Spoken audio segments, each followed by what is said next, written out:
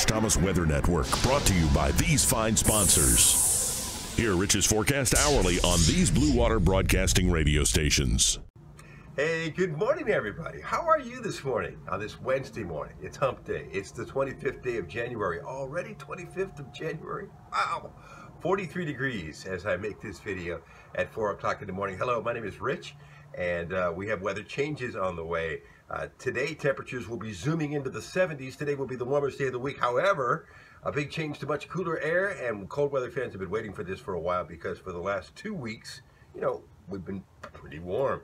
Uh, so we'll talk about the uh, updated future radar uh, uh, with the showers coming in, the temperatures over the weekend. We'll look ahead to next week as well. And on this video, a space station flyover. I haven't told you about one of those in a while, right? We'll talk about that too. Here we go.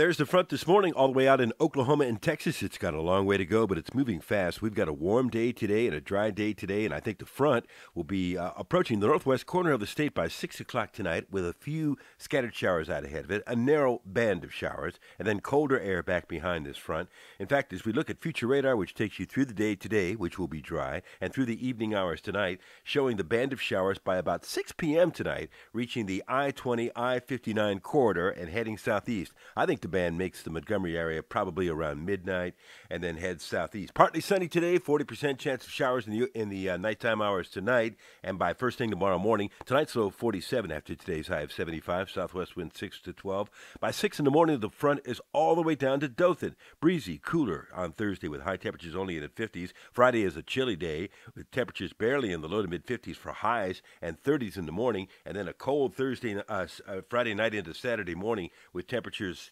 teetering near freezing. We'll be in the low 30s, sunny, chilly. A cool day Sunday. Again, we start off very cold with temperatures in the low 30s, probably right around the freeze mark in many areas. On Monday, another start right around freezing. A cold morning, but a chilly day ahead on Monday. So let's review.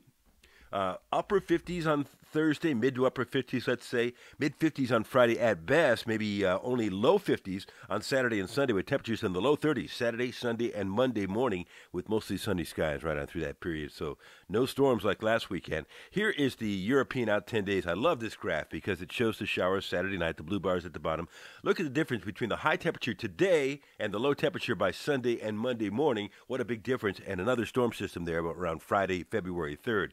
So, you know, in the low seven, low to mid 70s today, I think. Sharply colder than uh, Thursday, Friday, Saturday, Sunday, Monday uh, before we start to moderate it a little bit by about the middle of next week. That's the uh, European. Now the GFS out 16 days, again showing the warm day today, again showing the big plunge over the upcoming weekend, including those very cold mornings. Uh, well, I mean colder than than we had in a while, and then temperatures moderating next week. The CPC, the Climate Prediction Center, shows that much of the next 10 days will be colder than normal across the east and southeastern U.S. A big change from what we've had here lately. And your down your downloaded weather app will show our hour by hour temperatures and current conditions where you can see, you know, how not only how cold it's going to be at your location, but how cold it might be you know, how many hours it might be freezing. That's important information. Hey, there's a great space station flyover tomorrow evening. I haven't told you about one in a while because sometimes we've had cloudy skies when they've happened. 6:41 to 6:44 p.m. Uh, coming out of the southwest and moving northeast. The space station flyover Thursday evening. It should be a very bright one, a very good one. Kids love this. If you haven't seen one ever, uh, you it's a bright point of light, and you will absolutely be amazed. It's great. For those of you who've been watching me uh, for many years, I try to keep you up to date on not only space station flyovers, but you know stuff like full moons and conjunctions of the planets and cool stuff going on in the sky. Just a little extra here.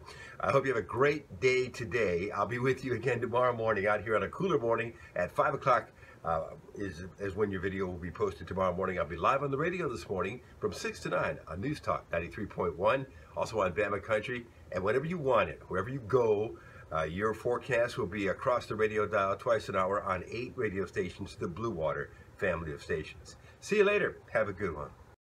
Rich Thomas Weather.